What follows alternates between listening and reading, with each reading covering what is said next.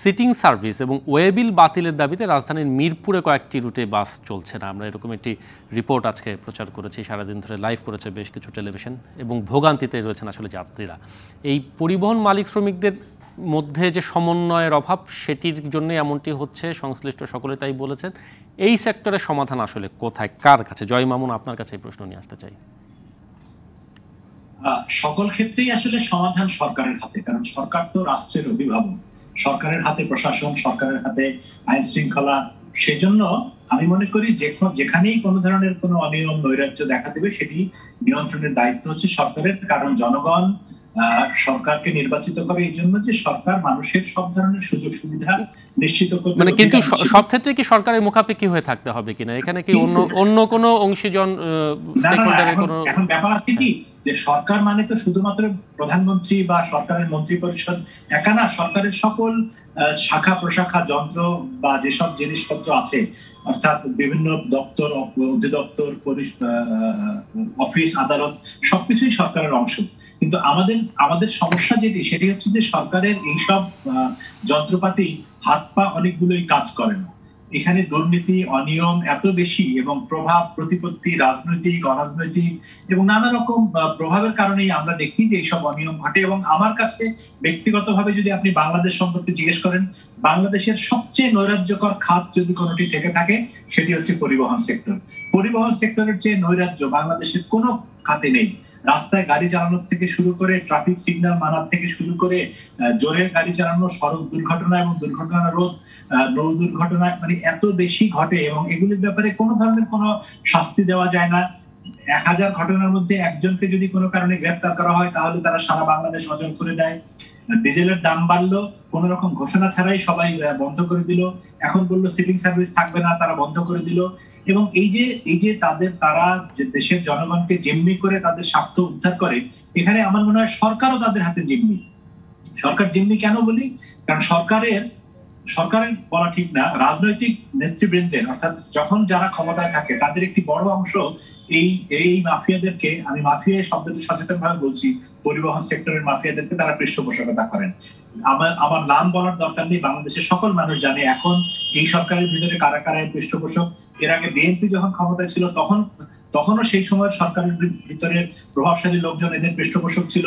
জাতীয় পার্টির সময়ের সরকারের লোকজনও এদের পৃষ্ঠপোষক ছিল। অর্থাৎ সব সরকারের গুরুত্বপূর্ণ লোকজন এদেরকে পৃষ্ঠপোষকতা দেয় বলেই কিন্তু এরা এরকম দেশের মানুষকে, দেশের সরকারকে, প্রশাসনকে, সবাইকে জিম্মি করতে পারে। এমনকি এরকম বহু ঘটনা বাংলাদেশে আছে যে ট্রাফিক পুলিশ হয়তো একটা অন্যায়ের জন্য একটা গাড়িকে থামানোর চেষ্টা করল, ট্রাফিক পুলিশের গায়ের উপর দিয়ে গাড়ি চালিয়ে চলে গেল।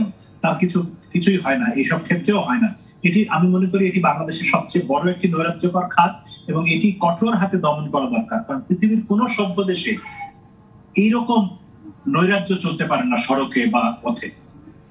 এখন সরকার প্রধান আজকে বলেছেন যে মানুষের কথা মাথায় রেখে ভাড়াকে যৌক্তিকভাবে নির্ধারণ করা হয়েছে। কিন্তু প্রধানমন্ত্রীর এই কথার পরও রাস্তায় তার প্রভাব নেই, নিয়ন্ত্রণ নেই।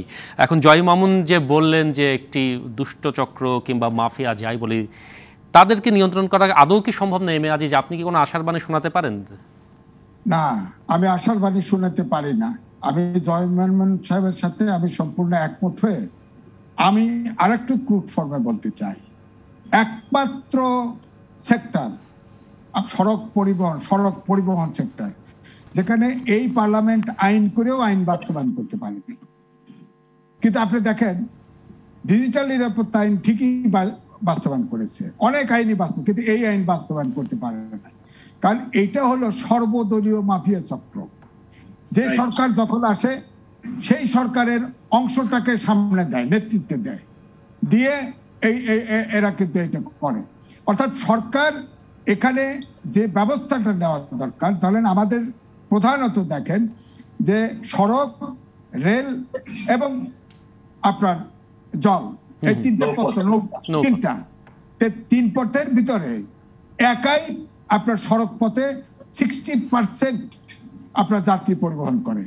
যখনই আপনার কোনো কিছু করবেন জয় মেমন সাহেব বললেন একজন আপনার আপনার অ্যাসিস্ট্যান্টকে ধরবেন, সারা দেশে স্ট্রাইক করে দিবে। হ্যাঁ। তাহলে কারণ হচ্ছে ওই যে জনগণকে জিম্মি করা, ওইটা হলো ইয়া। তো সরকারের সদিচ্ছা দরকার। এখানে দুইটা। একটা হচ্ছে যে আপনি এই যে জলপথ, রেলপথ এবং সড়কপথ, তিনটাকে সমান্তরাল করতে হবে, যানবাহনের ক্ষেত্রে মানে মানুষ জানার ক্ষেত্রে। অর্থাৎ একটা সেক্টর যদি স্ট্রাইক করে তারপরে যেন যাতে জনগণের ভোগান্তি না হয়। এটা হলো একদিক। দুই হলো, যে সরকার এখানে পলিটিক্যাল ডিসিশন নিতে হবে। এখন সামনে আছে যতই বলেন সরকারের কাছাকাছি লোকগুলো এখন নেতৃত্ব দিচ্ছে, তাদেরকে ধরা কি খুব সুবিধা? এরা তো বহুত টাকা মালিক। ধরেন না, ধরলেই তো সাইজ হয়ে যায়, ধরবে না। কারণ হচ্ছে যে এই এটাকে আবার বিভিন্ন সময় ব্যবহারও করা হয়। এই জন্য যখন ওই যে ডিজেলের দাম বাড়িয়ে দেয়, তখন ফেসবুকে একটা রসিকতা করে একজন আপনার স্ট্যাটাস দিয়েছিল। যে বিএনপি ঘরের ভিতর থেকেও যদি হরতাল ডাকতে পারতো, তাহলে তো শাহজাহান খানরা এই স্ট্রাইক ভাঙার জন্য বাস নামাই দিত। তাহলে তো জনগণের ভোগান্তি হতো না। কথাটা কিন্তু একদম ফেললেন না। সুতরাং আমি বলব যে এই পরিবহন খাত, এটা একটা মাফিয়া চক্রের ভিতরে আবর্তিত। সব জায়গায় বিভক্তি আছে, দেখেন, এবং ভেরি ইন্টারেস্টিং দেখেন মালিক, শ্রমিক এই সেক্টরে একসাথে আন্দোলন করে। মালিক শ্রমিক একসাথে করে। না কিন্তু তারা কিন্তু এই যে ওয়ে বিলের বিষয়ে মালিক আর শ্রমিকের মধ্যেই তাদের সমন্বয়ের অভাব। মালিক চাচ্ছে ওয়ে বিলের মাধ্যমে শ্রমিক বলছে যে কিলোমিটার অনুযায়ী তারা ভাড়া নিতে পারছে না।